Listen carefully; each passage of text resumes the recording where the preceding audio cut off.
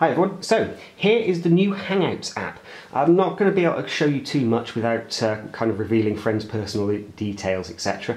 But effectively what we have here is a fully integrated messaging app now. Google kind of saying they were going to do this for a while and they finally got around to making it happen. So now with a Hangout, you have the ability to talk as you would normally to anyone who is on your Google Plus account and anyone you've added.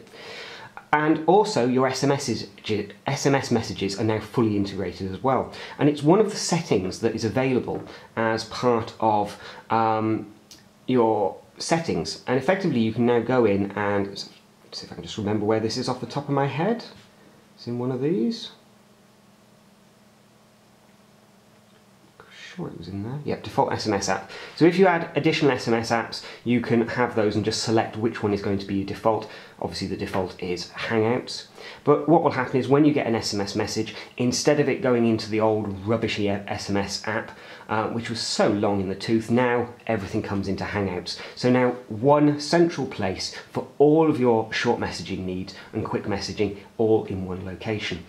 So one of the things they've added is the ability to send location information as well as obviously starting a Hangout from your message window. So now if you want to, you can pull up very easily your location, tap and share.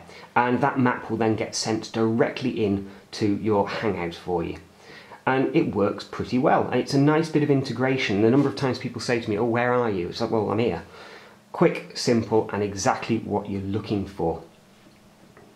But by and large, the Hangouts app update is a welcome addition. The ability to have your SMS messages all integrated into one place, as well as some of the new tweaks and features they've added, like uh, the Gmail Maps, is sorry, Google Maps, is fantastic, and it works really well.